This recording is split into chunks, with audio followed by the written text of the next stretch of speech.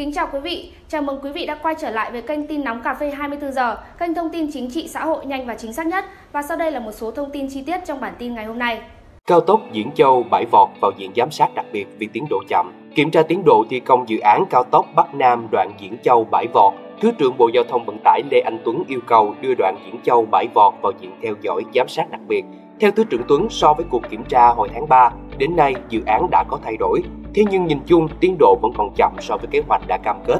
Theo cam kết của doanh nghiệp dự án thì 30 tháng 4 sẽ hoàn tất đường công vụ, nhưng đến nay chỉ mới làm được 32,3 km đường công vụ tuyến. Chưa kể, theo kế hoạch tháng 4 năm 2022, các nhà thầu sẽ huy động 110 mũi thi công, nhưng đến nay chỉ mới huy động được 69 mũi. Ông Nguyễn Quốc Việt, Tổng Giám đốc Công ty Cổ phần Đầu tư Phúc Thành Hưng, doanh nghiệp dự án, xin gia hạn đến ngày 10 tháng 5 năm 2022 sẽ hoàn tất đường công vụ. Ngoài ra, từ nay đến ngày 30 tháng 4 sẽ tăng cường các mũi để nhanh tiến độ để bù khối lượng còn thiếu hụt. Theo ông Việt và các nhà đầu tư khác như Senco 4, Thái Yên, có nhiều nguyên nhân dẫn đến sự chậm trễ nói trên. Ngoài yếu tố chủ quan của các nhà đầu tư, nhà thầu thi công thì còn có những khó khăn khách quan như thời tiết thời gian qua mưa nhiều, mặt bằng còn bị vướng, đường công vụ chưa xong. Theo ông Trần Hữu Hải, giám đốc ban quản lý dự án 6, các doanh nghiệp phải ngồi lại đưa ra các giải pháp, thay đổi biện pháp thi công vẽ lại đường găng tiến độ, từ đó kéo bù quãng thời gian đã mất và nhanh chóng đạt sản lượng 511 tỷ đồng để được giải ngân nguồn vốn tín dụng.